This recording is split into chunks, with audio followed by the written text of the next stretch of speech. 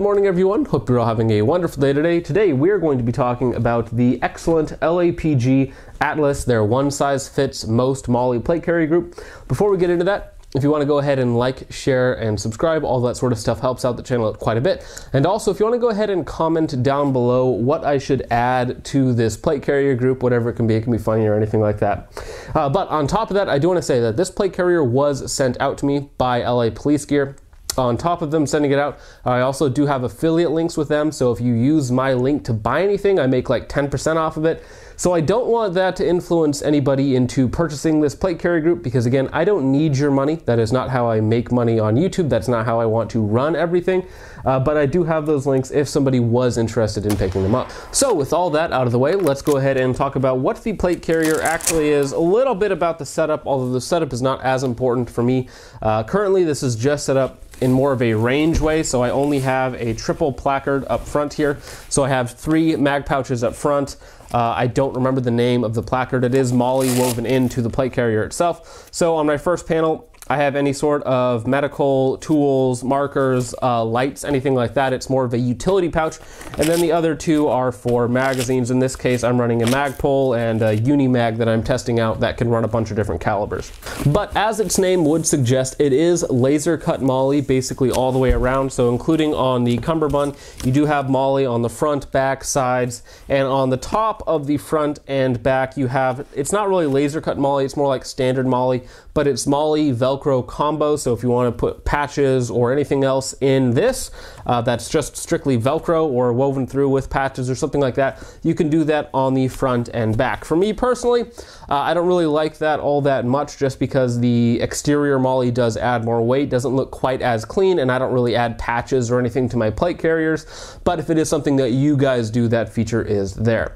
Now, that being said, because this is completely laser cut MOLLE, what that means is basically you have as little extra material as you need versus having a base layer and then having to thread MOLLE on top of that or sew MOLLE on top of that.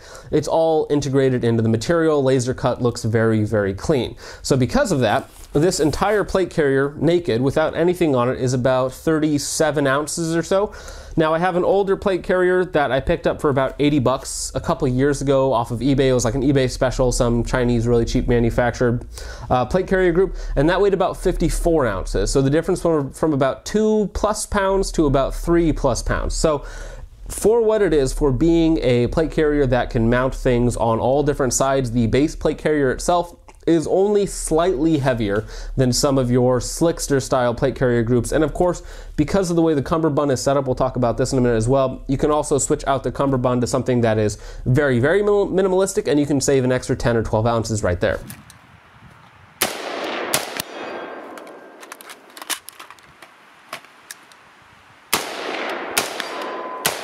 Alrighty, so we're to go ahead and show you how to take the cummerbund off. It's very easy. Unstrap it from the front, and then you can literally just pull it out from either side. It can be a little tight to feed all the way through here.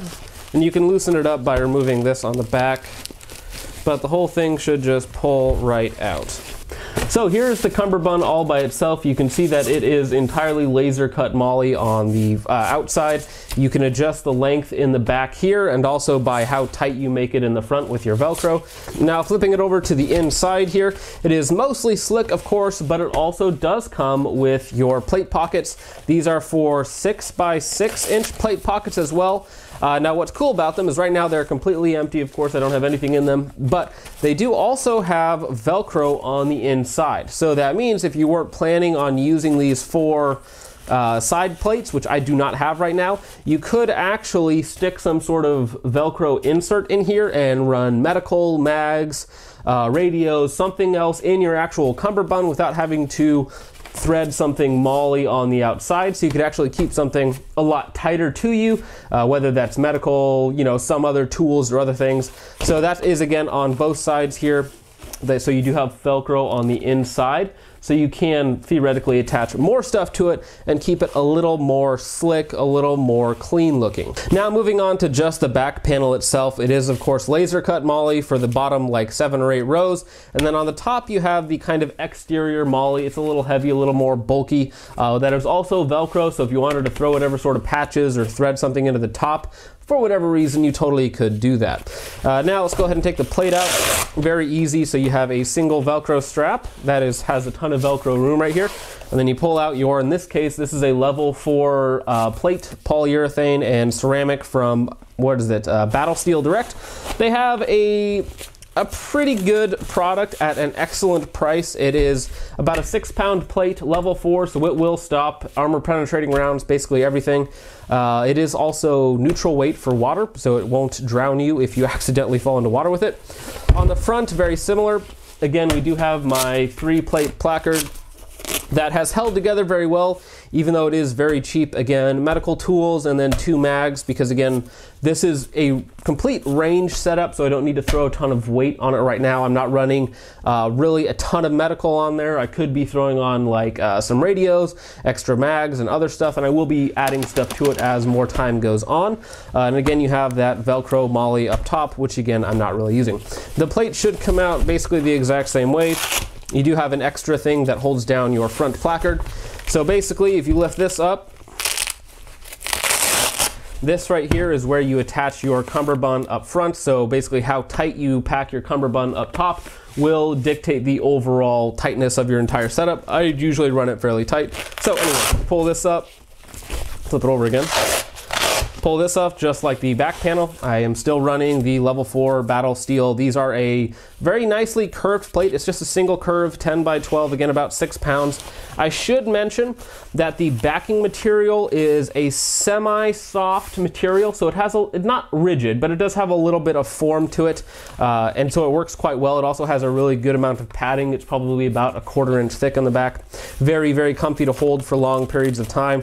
The only thing that this plate is really really missing on the interior panels here is going to be some sort of like ventilation. So I live in the Pacific Northwest. It's not really all that hot.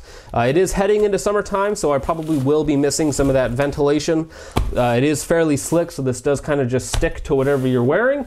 Um, so it doesn't really breathe all that well. So you are going to sweat more with this than you would with something that has offsets for extra ventilation and that sort of thing.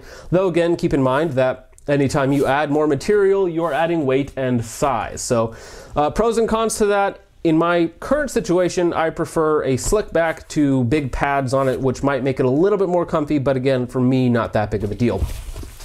I should mention that it also did come with buckles in the ends here that you could also tighten down if you thought that the Velcro was not quite enough. The Velcro has been just fine in my opinion, so I removed those immediately because I just don't need them.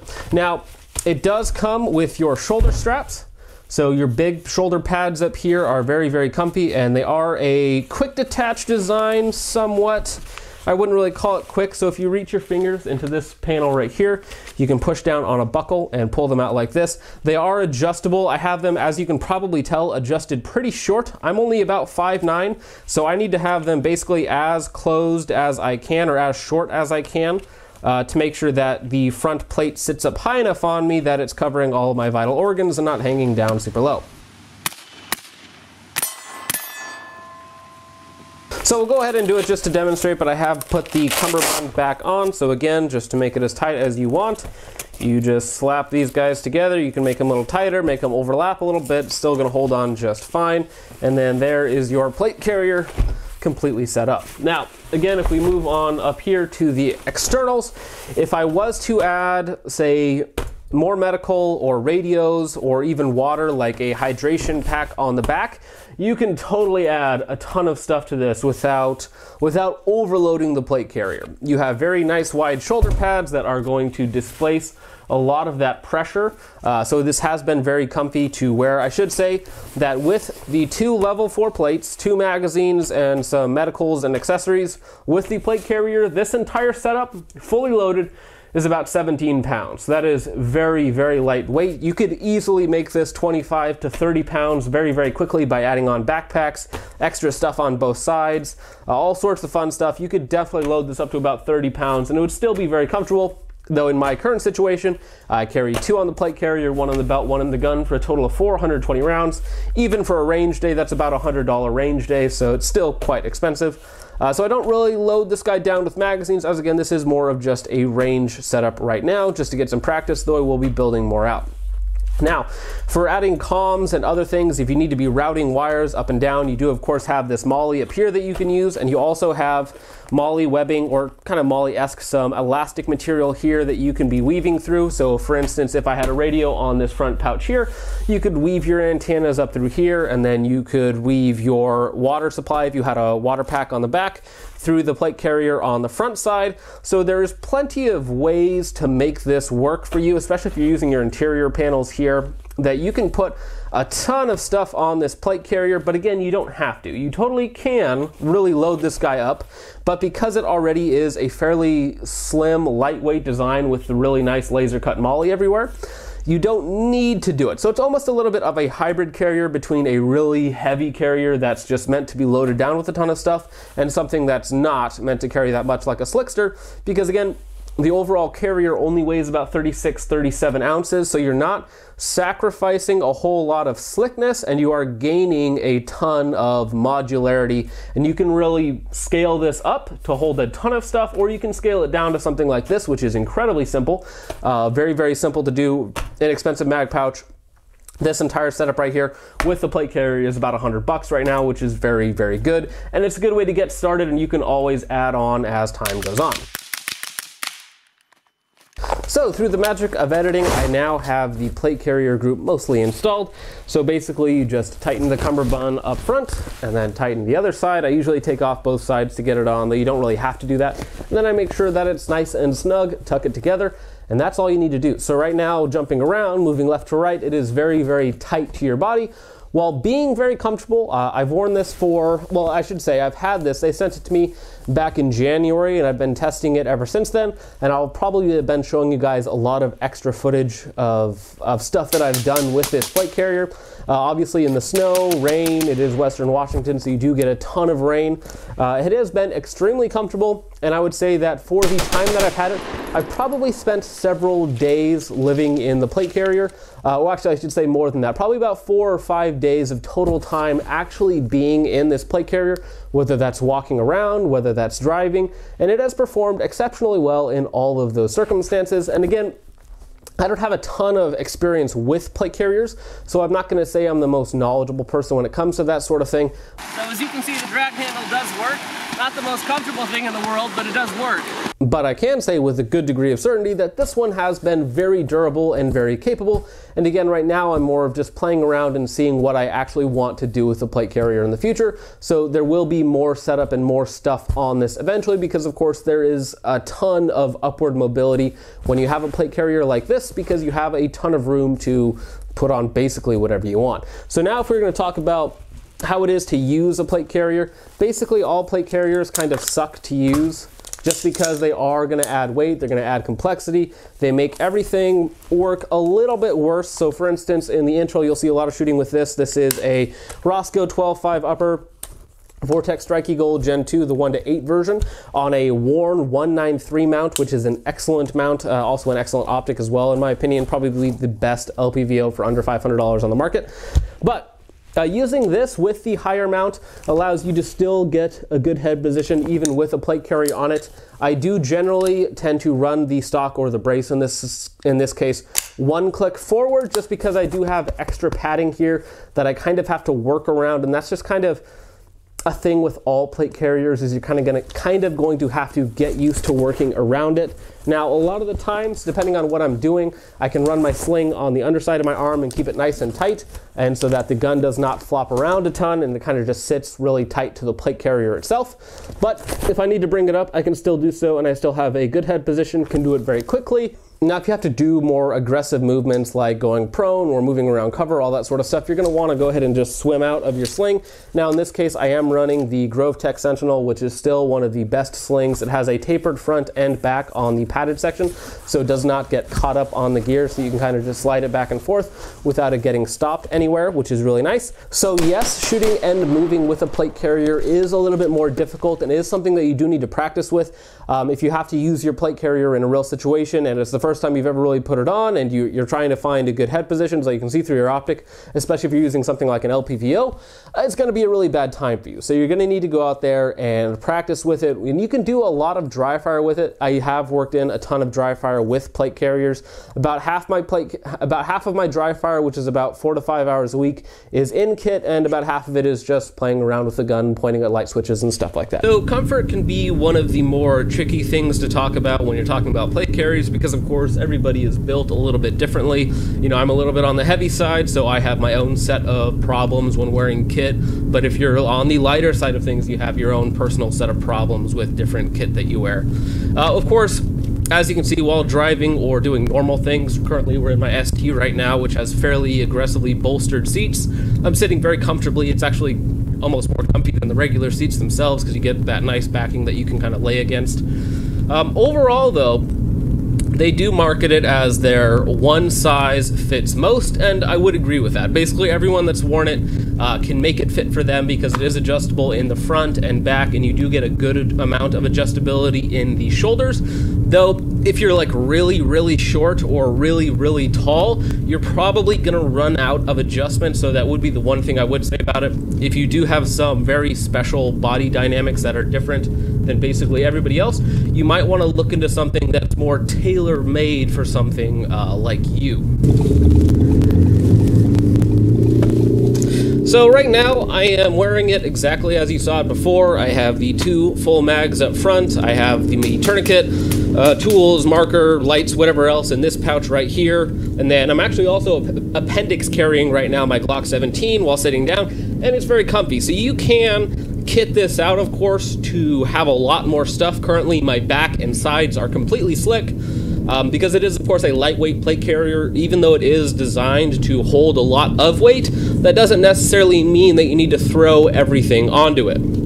Now, because it's slick in the back, this is very comfy to drive around in. This is very comfy to sit down and lean back up against something. But the more stuff you throw on your back, one, of course, obviously, the more weight it is. Maybe it'll balance out the front if you have a ton of stuff on the front. I currently don't, so it's fairly lightweight. But more stuff you throw on the back, the less comfy it is going to be, like sitting down, driving, or anything like that, if you actually have to go somewhere rather than just standing on a flat range. And of course, the more stuff on your sides, kind of the same thing. Like, this is, of course, a manual because they only come in manual, so if you need to do any shifting or anything like that, the more garbage you have on you, the harder it's going to be to do normal day to day sort of tasks.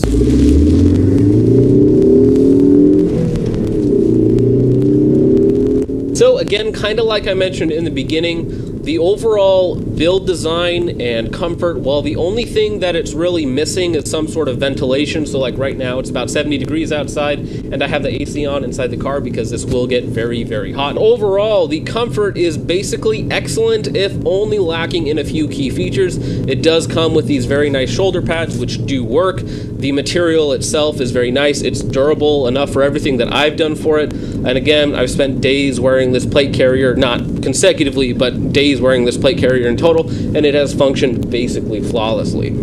So guys, at the end of the day, no pun intended, I do think that this is basically the best plate carrier on the market for the money. Now, take that with a grain of salt, as my experience with plate carriers is basically extremely cheap, terrible plate carriers uh, to this one here, which is more of not really a mid-range, it's still definitely in the budget tier of price, but in terms of features and capabilities, can basically do anything that you want it to do, whether it's a very minimalistic range setup, or you want to add on more comms, medical, more mags, more mags for pistols, whatever else sort of admin stuff that you need, you can totally do that with this plate carrier. Now, if I haven't mentioned it already, I believe that it is made in Vietnam or the Philippines, I believe. It is not an American made product, unfortunately, but that is kind of what you get into in this price range. For an American made product with all of these features, you're looking at about 200 to $250 in terms of price. On top of that, I do want to say that there's a lot of other people, more knowledgeable people uh, than me about plate carriers and actually using them and, and having more time with them than I have that I've done videos on this plate carrier. So I would recommend you check them out, like Mr. Guns and Gear and some other people uh, that really high, highly recommend these plate carriers. And most of these people, I would believe, are at least mostly unbiased, as I believe myself is as well, as I do really enjoy the product and I use it a ton. I will be picking up a second one of these. They also make them in multicam. Unfortunately, the multicam version is like $100, while these are in the $80 price range, though there's basically always uh, 10 to 15% off. The other day, they were actually 20% off, and I could have picked another one up for about $60. But, anyways, for that 60 to $80 price range, um, again, probably the best plate carrier all on the market for that money. I don't really think it can be beaten in that price range. If you guys are interested in that sort of thing, feel free to uh, comment down below, ask me questions about it if you need help uh, with anything like that, or if you guys think there's a better plate carrier out there than this, than the LAPG Atlas uh, for the money, go ahead and let me know. But that is about it for the video, guys. Thank you so much for watching. Hope you all enjoyed, and I will see you guys in the next one. Peace off.